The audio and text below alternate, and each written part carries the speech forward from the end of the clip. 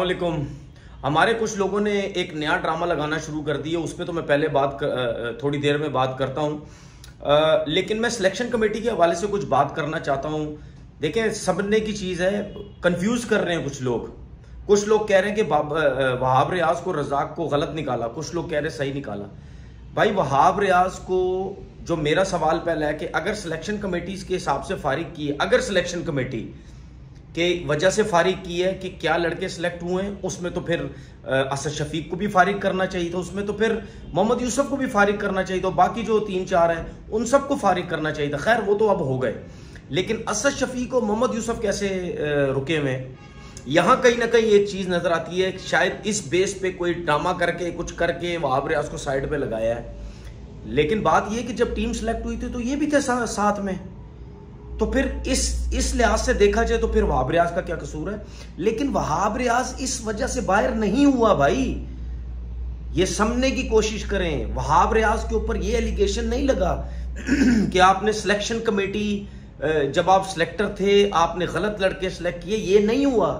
वहाब रियाज को इस वजह से बाहर किया गया कि और अब्दुल रजाक को कि इन्होंने बिला वजह कितने लड़कों को जानबूझ के सपोर्ट किया और गलत सपोर्ट किया, जिसकी वजह से सिलेक्टर्स जो हैं वो जो दूसरे सिलेक्टर से वो खुश नहीं थे।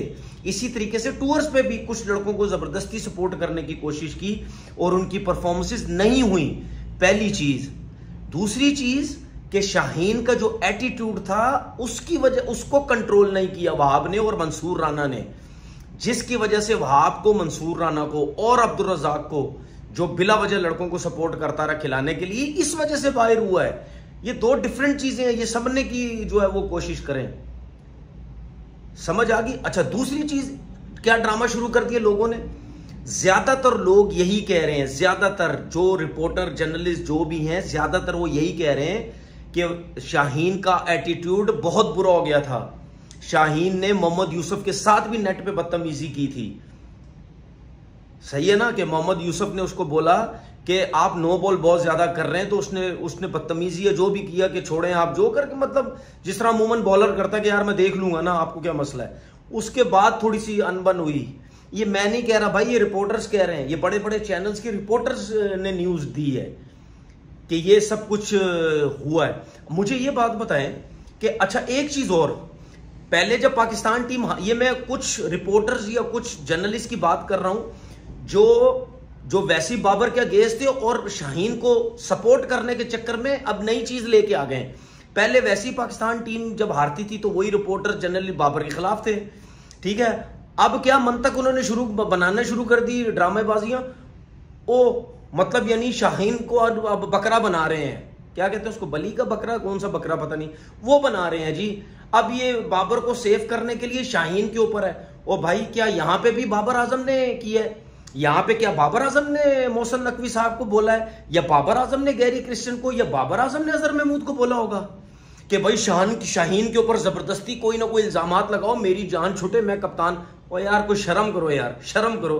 खुद खुद पाकिस्तान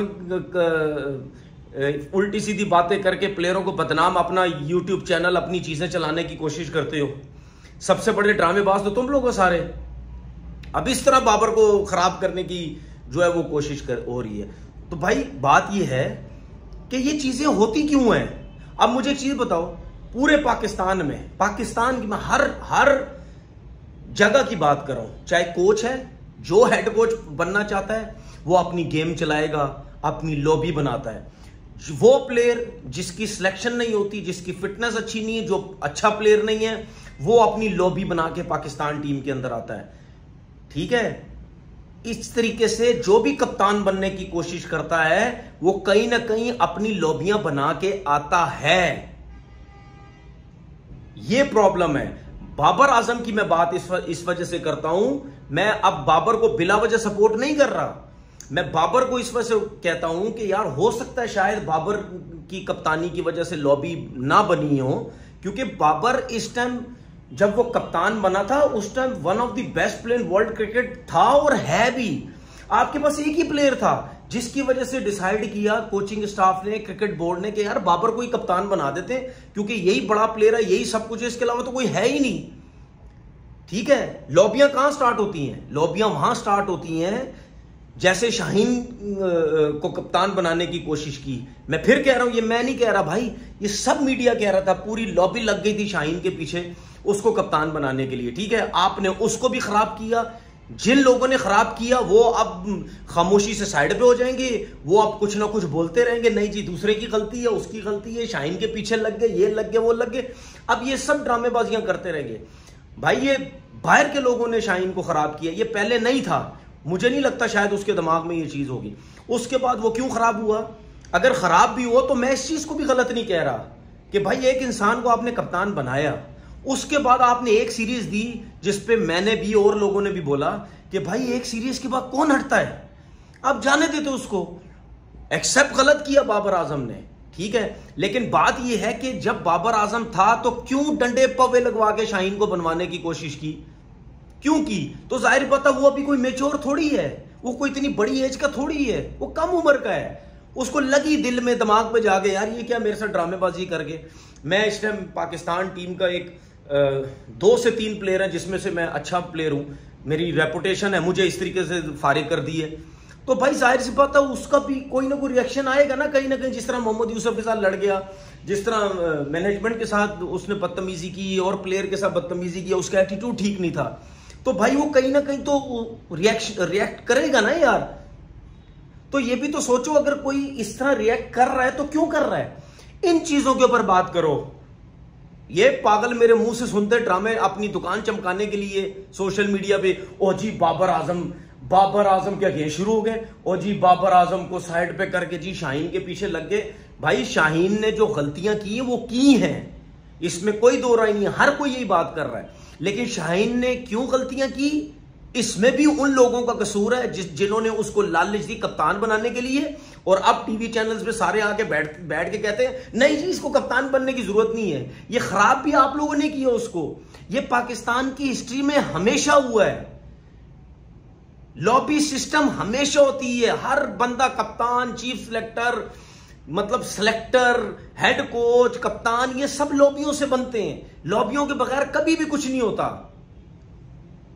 मैं चैलेंज के साथ कह रहा हूँ, अगर आप ये शाहीन अफरीदी का, कप्तानी का जो टांग नहीं अड़ाई जाती, आपकी टीम की इतनी बुरे हालात नहीं होते।